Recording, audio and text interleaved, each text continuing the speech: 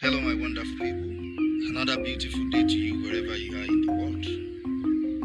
Today we are in Anambra, Agulu Lake to be precise.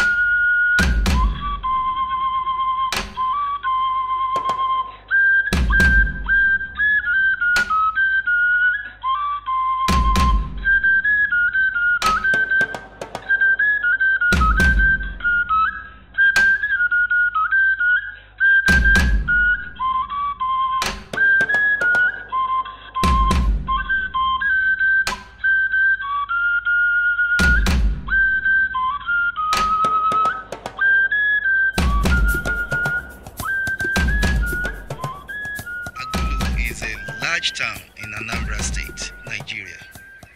It is located in Anaocha local government area. It is home to the Agulu Lake.